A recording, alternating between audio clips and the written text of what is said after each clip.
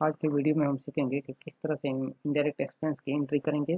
Tally E R P nine में, कैसे उसके जनरल एंट्री पास करेंगे, कैसे पेमेंट करेंगे ए टू जेड के बारे में वन बाय वन करके मैं आपको आज के वीडियो में बताऊँगा। तो चलिए इसके लिए मैंने पहले से एक फॉर्मेट तैयार कर रखा है, जो कि इनडायरेक्ट एक्सपेंस से रिलेटेड ये सारे लेजर हैं, जिसका कि मैंने Tally E R P nine में पहले से ही क्रिएट कर रखा है। और यह लेजर किस तरह से क्रिएट किए जाएँगे, इससे रिलेटेड सारे वीडियो मैं यहाँ पर अपने इस चैनल पे अपलोड कर चुका हूँ। अब यहाँ से जा कर के वन बाय वन करके सारे वीडियो को देख करके सीख सकते हैं कि किस तरह से अकाउंटिंग आप करेंगे, किस तरह लेजर क्रिएट करेंगे, किस तरह आइटम क्रिएट करेंगे। ए टू जेड के बारे में यहाँ पे अपलोड हो चुकी है वीडियो। आप चैनल को सब्सक्राइब कर लें और वन बाई वन करके सारे वीडियो को एक एक करके आप देख सकते हैं। आइए चलते हैं टेली ईयर पी पे और यहाँ पे हम आ चुके हैं। यहाँ पे मैं पहले से ही आपको बता दूँगा कि डिस्प्ले में चले जाइए। यहाँ से लिस्ट ऑफ़ अकाउंट में आ जाइए। और नीचे जाने के बाद यहाँ पे आप देख सकते हैं कि मैंने यहाँ पे सारे लेजर पहले से ही इनडायरेक्ट एक्सपेंस के क्रिएट कर रखे हैं, एक एक करके। और fee bank charge bank interest A to Z ये किस तरह से क्रिएट किए जाते हैं, चलिए किसी एक एंट्री मारिए और यहाँ से आप देख सकते हैं मिसलेनियस एक्सपेंस से इनडायरेक्ट एक्सपेंस में करके यहाँ पे सब कुछ नोट अपनी करते हुए मैंने यहाँ पे सेव कर लिया है। बिल्कुल इसी तरह इसका भी आप देख सकते हैं, एक एक करके जो भी है, सबका वन बाय वन करके इसे ही लेजर इनडायरेक्ट एक्सपेंस में मैंने बना रखा है। तो यहाँ तक सारी एंट्री हो चुकी है। ये लेजर क्रिएट हो चुका है। अब आप चलिए इंडायरेक्ट एक्सपेंस की हम एंट्री करके आपको दिखाते हैं। इससे पहले मैं एक चीज़ और यहाँ पे पॉइंट क्लियर कर दूँ कि एक्सपेंस और इनकम से रिलेटेड तो सबसे पहले एक्सपेंस से रिलेटेड यहाँ पे आ जाते हैं। यहाँ पे देख लीजिए आउट स्टैंडिंग एक्सपेंस और प्रीपेड एक्सपेंस दो तरह के एक्सपेंस के बारे में क्लियर कर देता हूँ। आउट स्टैंडिंग एक्सपेंस उसे कहेंगे। ऐसे खर्चे जिसका अभी तक पेमेंट नहीं हुआ है। खर्चा तो हो चुका है। लेकिन अभी तक उसका पेमेंट ड्यूज है, जो कि नेक्स्ट फाइनेंशियल ईयर में होगा। उस तरह के एक्सपेंस को हम आउट स्टैंडिंग एक्सपेंस करेंगे।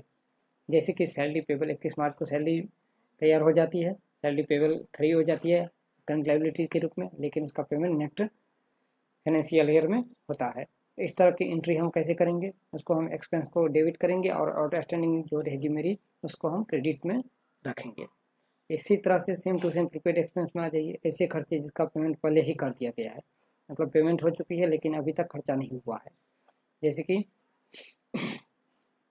एग्ज़ाम्पल फॉर एडवांस सैलरी हम पहले ही ले चुके हैं, लेकिन अभी तक मेरा मंथ लगा नहीं है, या ये नेक्स्ट मंथ अभी आया ही नहीं है। नेक्स्ट मंथ की भी मैंने सैलरी एडवांस में इसी मंथ में ले लिया है। जैसे कि रेंट से रिलेटेड आ जाइए कि रेंट एडवांस मिल गई है लेकिन अभी तक रेंट लगी नहीं है। इस तरह के जितने भी हैं, ये सारे के सारे प्रीपेड एक्सपेंस कहलाएँगे।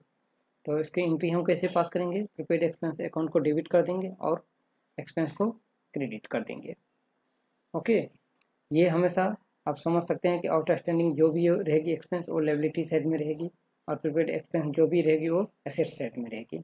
और पीएल अकाउंट में हम इसे हमेशा डेबिट साइड में रहेंगे एक्सपेंस क्योंकि ऑलरेडी सब डेबिट ही होती है। तो चाहे वो आउटस्टैंडिंग हो या प्रीपेड हो तो सारे डेबिट साइड में ही शो होंगे ओके? यहाँ पे देख लीजिए कि लेबिलिटी अगर हमारा इंक्रीज होगा, बढ़ेगा तो क्रेडिट करेंगे और अगर डिक्रीज होगी, घटेगी तो उसे हम डेबिट करेंगे। एसेट्स की भी बिल्कुल वही, अगर इंक्रीज होगी तो उसे हम डेबिट करेंगे और घटेगी अगर हमारी एसेट्स हो क्रेडिट हो जाएगी। तो इस तरह से ये रूल को फॉलो करते हुए आप एक्सपेंस की एंट्री कर सकते हैं। तो आइए चलती है, पहले ईयर पी नाइन पे चलते हैं। सबसे पहला एंट्री हम यहाँ पे देख सकते हैं, क्या है? सैलरी एंड वेगेज की एंट्री हम कैसे करेंगे हर मंथ तो मान के चलिए यहाँ पे वाउचर पे आ गए यहाँ पे डेट दे दिए इकतीस जुलाई को। सैलरी बनाना है जुलाई की। जुलाई की सैलरी बन, बनाने के लिए हम क्या करेंगे? जैसे कि मैं पहले से ही यहाँ पे एंट्री कर चुका हूँ। लेजर में चले जाइए अजय कुमार। सैलरी है इसका सैलरी इकतीस मार्च को मैंने बना लिया है। सैलरी पेवर बीस हज़ार रुपया आप देख सकते हैं। और जो कि अजय कुमार सैलरी अकाउंट में मैंने दे रखा है। अब हम इसकी एंट्री कैसे पास करेंगे? ये बीस हज़ार रुपया सैलरी एंड बैगेज में यहाँ पे हम ऑल्ट प्रेस करके पहले एक जनरल एंट्री पास कर लेंगे। जनरल एंट्री पास करेंगे, यहाँ पे लेंगे सैलरी वेगेस अभी देख लीजिए इसका कुछ भी नहीं है ज़ीरो है नील है, यहाँ बीस हज़ार रुपया हम ले लेंगे इकतीस तारीख में। और सैलरी पेबल को क्रेडिट करके इसे हम सेव कर लेंगे। यहाँ पे सैलरी पेबल खराब हो गया अजय कुमार के अकाउंट का। और सैलरी में चल के देखते हैं इंडायरेक्ट एक्सपेंस में पी अकाउंट में इंडायरेक्ट एक्सपेंस में आ जाइए। यहाँ पे देख लीजिए सैलरी हमारा बीस हज़ार रुपया डेबिट में आ चुका है। एक्सपेंस हमारा डेबिट होता है, पहले ही बता चुके हैं यहाँ पर। आप देख सकते हैं कि यहाँ पे मैं पहले ही आपको बता चुका हूँ कि हमारी जो सैलरी जो होगी, वो क्या होगी? खर्चे डेबिट होंगे। ओके? अब हम यहाँ पे क्या करेंगे? अजय कुमार का पेमेंट करेंगे। अजय कुमार का लेजर ओपन कर लेते हैं। बीस हज़ार रुपये आप देख रहे हैं पेबल है। अभी तक पेमेंट नहीं हुआ है, लेकिन सैलरी एंड बेगेज में शो हो चुका है इस मंथ का। तो अब पेमेंट करने के लिए क्या करना पड़ेगा यहीं से हम ऑल्टे प्रेस करेंगे। एफ़ फाइव पे जाएँगे। और इकतीस जुलाई की सैलरी है। मान के चलिए ये नेक्स्ट मंथ में पेमेंट हुई है। तो यहाँ पर हम जिस बैंक या कैश से जैसे भी पेमेंट हुआ होगा, वो ले करके अजय कुमार सैलरी अकाउंट को यहाँ पे फिल कर देंगे। और ये इसका बिल हो चुका है पाँच अगस्त में। और यहाँ पे नरेशन या जैसे भी ट्रांसफ़र हुआ है, उस सब कुछ दे करके यहाँ पे लिख देंगे salary paid of the month of July और सेव कर इस तरह से यहाँ पे हम देख सकते हैं कि अजय कुमार का पूरा मील हो चुका है। इकतीस तारीख में इसका सैलरी पेबल बना था और जो कि पाँच अगस्त में सैलरी दे करके ये क्लोज हो चुकी है। मालिक क्लोजिंग बैलेंस है। और यहाँ सैलरी एंड बेगेज में आकर के देख सकते हैं कि ये बीस हज़ार रुपया इंडायरेक्ट एक्सपेंस अब एक्सपेंस में जाकर के खराब हो चुका है। ओके तो इस तरह से हमने सैलरी की एंड वेगेज की एंट्री कर ली है अब नेक्स्ट पॉइंट क्या है मेरा मिसलेनियन एक्सपेंस में जो भी होगी उसे हम डायरेक्ट खर्चा में एंट्री करेंगे उसके लिए मुझे मिसलेनियन में कुछ भी हो सकती है जैसे मतलब साबुन वगैरह आ गया शैम्पू वगैरह आ गया ये छोटे छोटे अमाउंट आते हैं खर्चे हो जाते हैं उसका बिल एक्चुअल भाउचर तो मिलता नहीं है तो इस तरह की एंट्री को अगर हम इकतीस जुलाई में अगर करना चाहेंगे तो डायरेक्ट हम बाई कैश में पेमेंट हुआ हुआ होगा अगर दस हज़ार से नीचे तक का तो इसे हम बाई कैश ले करके मिसलेनियस में ले लेंगे। मिसलेनियस में कितना? एक हज़ार सौ रुपया। तो यहाँ पे नरेशन हम वो फिल कर देंगे, जो कि जैसे कि यहाँ लिख देंगे शॉप एंड शैम्पू परचेज और वर्कशॉप ओके, सेव कर देंगे, हो गया। इस तरह से printing and stationery printing and stationery में अगर आप कैश में ही कुछ थोड़ा बहुत लाते हैं, जैसे कि पेन हो गई रबर हो गई, वगैरह वगैरह, ये सब तब तो आप डायरेक्ट यहाँ पे क्या करेंगे? वह कैश में अगर लाए हैं तो यहाँ पे डायरेक्ट हम प्रिंटिंग एंड स्टेशनरी लिख करके, जो भी होगा तीन सौ रुपये का, यहाँ पे लिख देंगे और में लिख देंगे पेन एंड जो भी है परचेज आप किए होंगे, वो सब कुछ लिख करके यहाँ पे लिख देंगे कि इस सामान के अगेंस्ट में हमने ये प्रिंटिंग एंड स्टेशनरी में परचेज किया है। ओके? ट्रैवलिंग एक्सपेंस में आप चले जाइए एक हज़ार रुपया, अगर ट्रैवलिंग एक्सपेंस का अगर आपको बिल मिलता है, तब तो कोई बात नहीं नहीं मिलता है डायरेक्ट खर्चे हैं।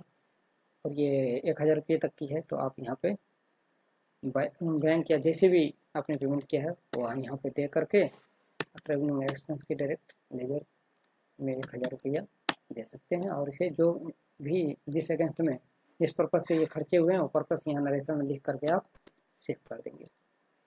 ओके टेलीफोन एक्सपेंस मोबाइल वगैरह में जो खर्चे होते हैं, उस सबकी अगर आप एक्सपेंस अगर कैश में कर रहे हैं तो इस तरह का, जैसे कि मोबाइल एक्सपेंस हुआ ऑफिशियली रिचार्ज वगैरह सबका तो इस तरह के जो भी एक्सपेंस होंगे, वो आपको इसे ही, और यहाँ पे लेकिन लिख देना है कि मोबाइल रिचार्ज और किस अगेंस्ट में और किसके लिए और कौन से प्रोसेस में सेल में हुआ है या अकाउंट में हुआ, जो भी हुआ है, वो यहाँ पे लिख करके इसे सेव कर देंगे। उसके बाद इलेक्ट्रिसिटी एक्सपेंस इलेक्ट्रिसिटी एक्सपेंस में क्या करेंगे? आप देखिए, महीने के एक बार बिल आता है तो हम सबसे पहले यहाँ पे इस बिल को जनरेट कर लेंगे। यहाँ पे दे देंगे इलेक्ट्रिसिटी एक्सपेंस ओके, कितना है? छः सौ रुपया मान के चलिए।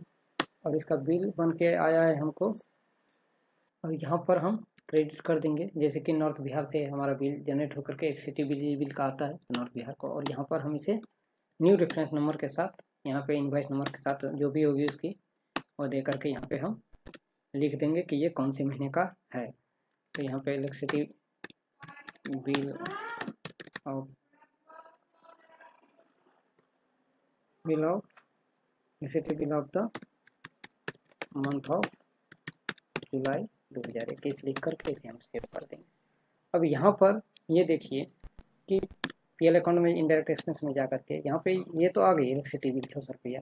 लेकिन यहाँ पे समस्या है क्या कि नॉर्थ बिहार का जो है लेजर खड़ा है। इसका तो हम पेमेंट करेंगे। और पेमेंट मान के चलिए मुझे नेक्स्ट मंथ में मैंने किया। तो यहाँ पे क्या हो जाएगा कि पेमेंट में चले जाइए और यहाँ से जिस तरह से आपने किया है बैंक शुरू किया तो बैंक में जा करके इसे हम ले लेंगे। और जितना भी इसका अमाउंट है, वो अमाउंट यहाँ पे फिल करके अकाउंट रेफरेंस छः सौ रुपया ये है तो ये दे करके, और जिस थ्रू ई फंड ट्रांसफ़र किए हैं तो यहाँ लिख करके और बाकी सब एक्सिटी bill bill paid of the of July दो हज़ार इक्कीस लिख करके सेव कर देंगे। ये भी खाता नील हो गया।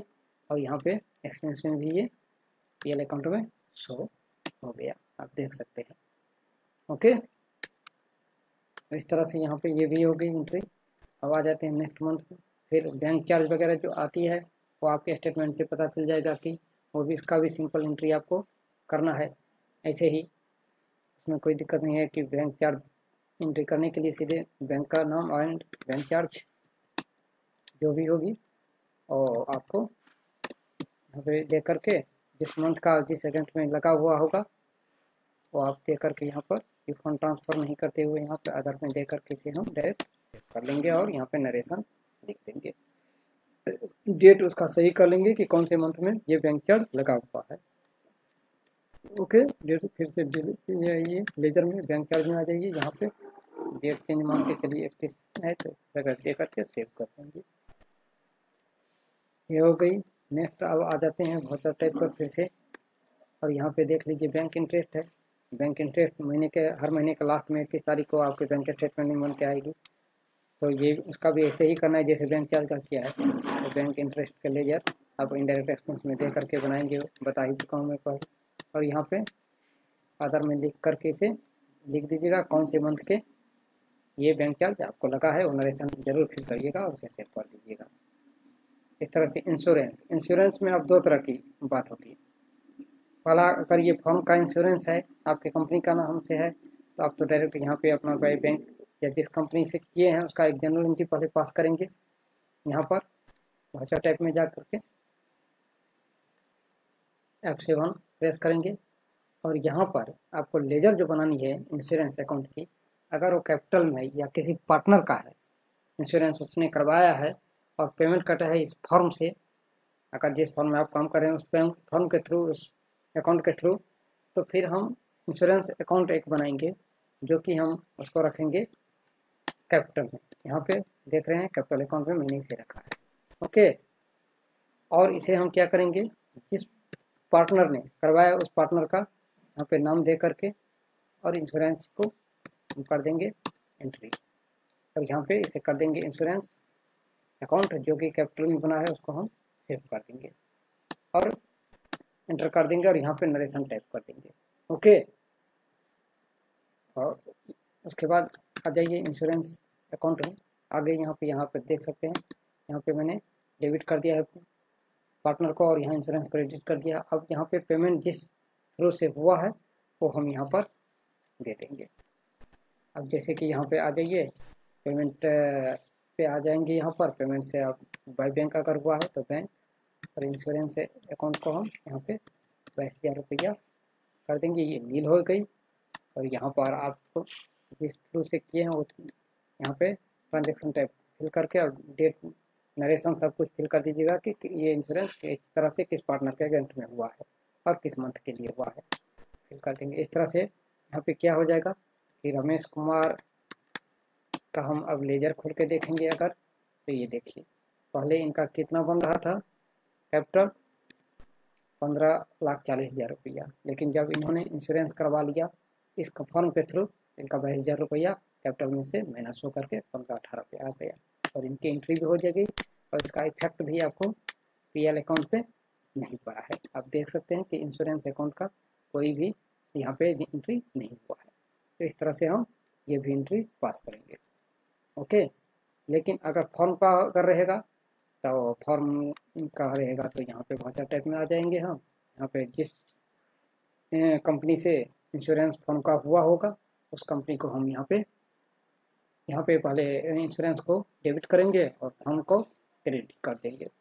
तो उदाहरण के लिए मान के चलिए, यहाँ पे मैं बना लेता हूँ एक लेजर यहाँ पे इंश्योरेंस एक्सपेंस में ले लेंगे और इंश्योरेंस एक्सपेंस कितना है? बाईस हज़ार रुपया। ओके? और यहाँ पे हम जो भी पार्टी है एलआईसी से मान के चली हुआ है तो एलआईसी न्यू रेफरेंस नंबर डाल देंगे इन्वाइस नंबर जो भी होगा उस पर वो सब कुछ दे करके यहाँ नरेशन फिल कर देंगे और इसे एंटर कर देंगे। तो यहाँ पे अब आप देख सकते हैं कि पीएल अकाउंट में ये मेरा इंश्योरेंस आ चुका होगा। ये देखिए इंश्योरेंस बाईस हज़ार रुपये आ चुका है, लेकिन LIC का तो खरा है। LIC का भी फिर आप वैसे ही पेमेंट कर देंगे, जैसे नॉर्थ बिहार का मैंने अभी बताया है। इस तरह से जिस थ्रू से आप पे होंगे, वो यहाँ पे अकाउंट में दे करके और यहाँ पे बाईस हज़ार रुपया अगेंस्ट बाईस हज़ार इंटर सेव और पूरा यहाँ पे जिस तरह से आप पेमेंट करेंगे, वो फिल कर दीजिएगा और यहाँ पर नरेशन सब कुछ टाइप करके ऑटोली से सेव कर दीजिए। इस तरह से क्या हो जाएगा, हमारा LIC का जो एंट्री है, वो भी क्लोजिंग बैलेंस नील हो जाएगी और प्लस यहाँ पर क्या होगा कि हमारा ये जो है इंश्योरेंस इंडायरेक्ट एक्सपेंस भी यहाँ पर इंडायरेक्ट एक्सपेंस में शो हो जाएगी।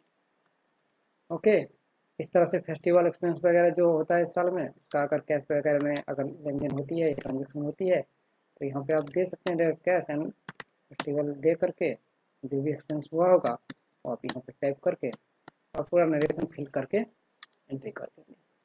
रिपेयर एंड मेंटेनेंस में छोटा बहुत जो भी होता है, वो अगर कैश में होता है तो उसे दे करके हम और रिपेयर एंड मेंटेनेंस में दे देंगे। और जितना भी खर्चा हुआ है तो हम मंथली का और डिटेल नरेशन ज़रूर फिल कर दीजिएगा, ये रिपेयर एंड मेंटेनेंस किस अगेंस्ट में और कैसे खर्चे में हुआ है।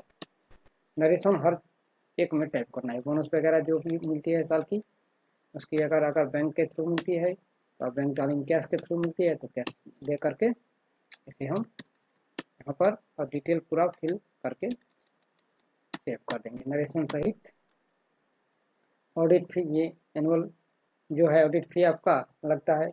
लीगल फ़ी मंथली भी लग सकती है एनुअल भी लग सकती है, जिस तरह से लगेगी उस हिसाब से आपको एंट्री करनी है आपको। लेकिन एंट्री ऐसे ही होगी। मान के चलिए ऑडिट ऑडिट फ़ी जो है, ये पेबल रहेगी। सबसे पहले तो आपको ये समझा दिए कि ऑडिट फ़ी इकतीस तारीख को ऑडिट होगी और पेबल में चली जाएगी, उसके बाद नेक्स्ट ईयर में उसकी पेमेंट होगी। बिल्कुल, जैसे सैलरी पेबल की होती है। इसी तरह से कैपिटल पे इंटरेस्ट अगर आपको मंथली मिलता है तो आप उसका मंथली लेंगे। अगर साल में एक बार टोटल मिलता है इंटरेस्ट तो उसका आप इक्कीस मार्च को लेंगे। फिल एक्सपेंस वगैरह की भी इसी तरह। और लास्ट में चल करके अब हम नेक्स्ट वीडियो में आपको बताएँगे कि डिप्रिसिएशन अमाउंट की एंट्री हम किस तरह से करेंगे, जिसके लिए रिलेटेड आपको यहाँ पे मैंने पहले से ही एक फॉर्मेट बना रखा है कि इस तरह से किस तरह हमें इसकी फिक्स एसेट्स पे डिप्रेसेशन लगाएँगे और कैसे इसका वैल्यू घटेगा और क्लोजिंग बैलेंस कैसे आएगी, इस सब की एंट्री आपको टेली या फिर में नेक्स्ट वीडियो में हम आपको बताएँगे। आज की वीडियो इतना ही। Thank you for watching this video channel को ज़रूर सब्सक्राइब कर लीजिए